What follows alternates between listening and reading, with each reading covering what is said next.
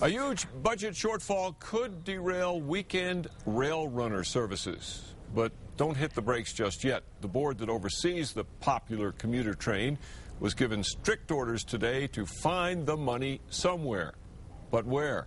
Crystal Gutierrez is live at the downtown Albuquerque depot. Crystal? And Dick, that's the question board members are asking tonight. They say they see no other solution right now. And along with the struggling economy, they also blame overconfident budget projections by the state.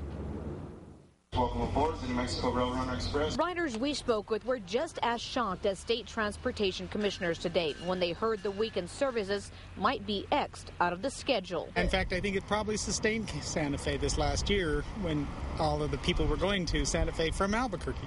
Now, in 2008, voters in the four counties served by the train approved gross receipts taxes to help pay for rail runner operations.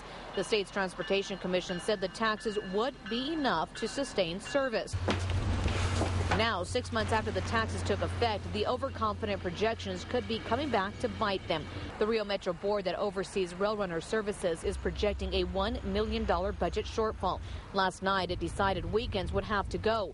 Today, the board broke the news to the State Transportation Commission. If we don't act quickly, then our deficit grows, and then we might be faced with even more cuts. Unhappy commissioners told board members to come up with another solution, concerned that cutting the services would take a toll on Santa Fe's and Albuquerque's economy. On weekends, I go up to uh, Santa Fe, and when I stay in Santa Fe, then I come back down. On the weekend, it's probably going to be anywhere from 100 to as much as $300. The board chairman Benton says the only other solution would be the state coughing up money at a time when it can't even balance out its own budget. We're not necessarily holding out particular hope for that because, uh, uh, and for that reason, we're having to take this drastic action.